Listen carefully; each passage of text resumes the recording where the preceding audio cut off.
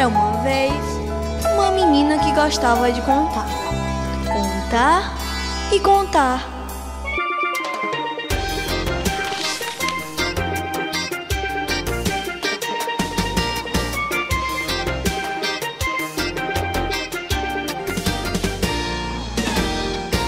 Olá!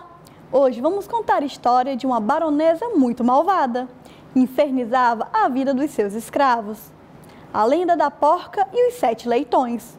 Possui muitas versões do folclore mundial. Hoje vamos conhecer a versão do sul e sudeste do Brasil.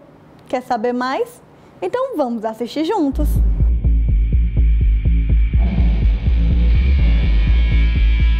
Depois da libertação dos escravos, a baronesa e feiticeira, que tinha sete filhos, resolveu contratar seus escravos, obrigando-os a trabalhar na sua fazenda.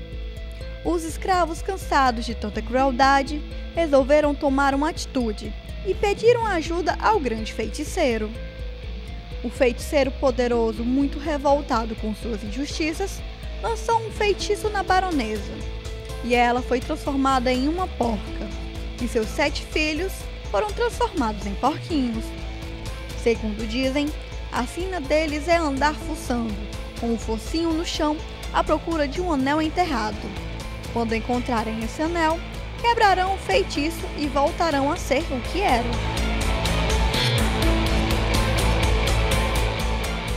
Reza a lenda que até hoje seu fantasma vive na terra, em forma de porca, acompanhada de sete leitões, que representam os sete filhos.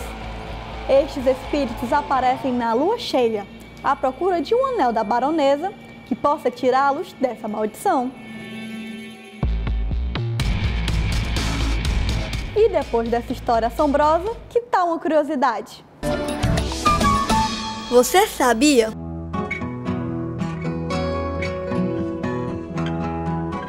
Pegadas enormes encontradas nas ruínas do templo Aindará, na Síria, trouxeram diversas dúvidas e revelaram mistérios guardados nessa região.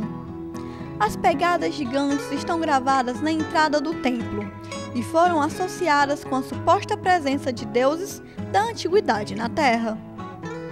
Para alguns estudiosos, as marcas remetem a um tempo distante, em que os deuses caminhavam entre os humanos. As ruínas ficam localizadas a oeste da aldeia síria de Aindará e a noroeste de Alepo. Essa área vem sendo estudada há muitos anos.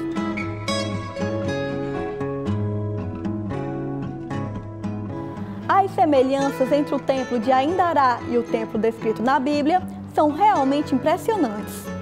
Ambos os edifícios foram erguidos em uma plataforma artificial, construída no ponto mais alto em relação às cidades. Foram encontrados leões, esfinges e outras criaturas místicas com garras compridas, todos esculpidos em grandes blocos de basalto. O interior do templo conta com um salão principal, que se assemelha a um santuário interno, ornamentado com estátuas de culto. E você, gostou do programa de hoje? Espero que sim, pois foi feito especialmente para você aí de casa. E se você quer ver sua lenda preferida ser retratada aqui no nosso programa, é só enviar a sua história para lendashistórias.com ou ligar para o telefone aí no vídeo. Um hiper mega beijo para você. Tchau, tchau! Thank you.